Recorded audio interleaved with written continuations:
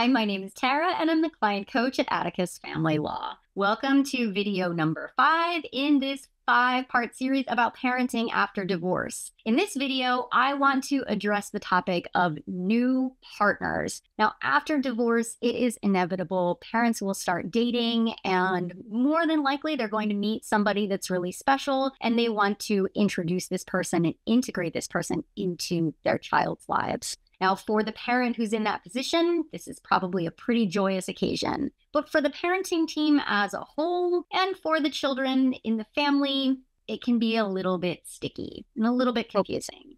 Now, for adults, this new introduction can prompt a lot of insecurity. It can bring about some turf wars, so to speak, about whether or not dad's new girlfriend can take the teenage daughter prom dress shopping. Things like that can come up. There's a lot of adult emotions, some insecurity, mm-hmm. like I said, also some anger, some resentment in how this new relation is forming, where it came from, how it's going. There's lots of things from the past that can be brought up and triggered into the future as a result of this new relationship. It's important to remember that adult emotions and that emotional roller coaster is normal. And if you're feeling that emotional roller coaster, it's a good idea to get the support that you need to finish any healing that needs to be done around this topic. But it's also important to consider, once again, the children's perspective for children, this is another way that their family is growing and changing, and you want to be supportive of them. So, what can adults do in this situation? Well, number one, it's a good idea to give your co parent a heads up if you are going to be introducing a new person to your children. Just as a courtesy to say, hey, I met somebody who's really special. I'm going to be introducing the kids to this person next weekend or whenever that might happen. Now, sometimes adults want to communicate about a lot more than just that.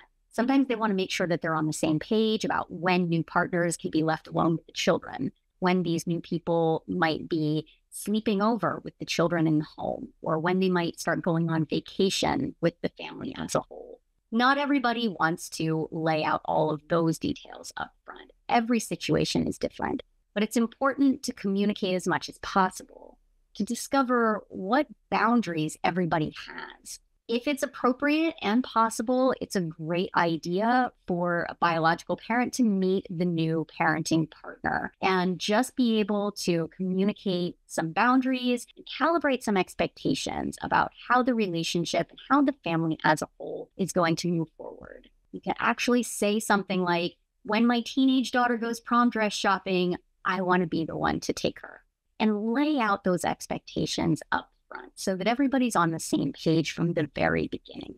Now, it's also important to encourage children to respect this other person. You don't want them going into their other parent's home and screaming at this other person, You're not my parent. I don't have to listen to you. Especially if that person is in a position of authority and trying to keep them safe, like telling them, for instance, not to run out into the road you certainly don't want to have a situation that could create a safety compromise for your children as a result of an attitude like that.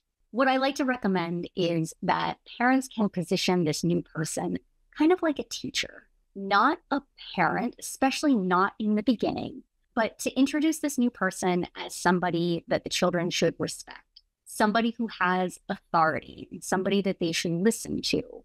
But this person isn't there to directly challenge parents' authority, for instance. So that's it. Communicate as much as possible, keep your emotions in check as much as possible, get the support that you need, and support and encourage children.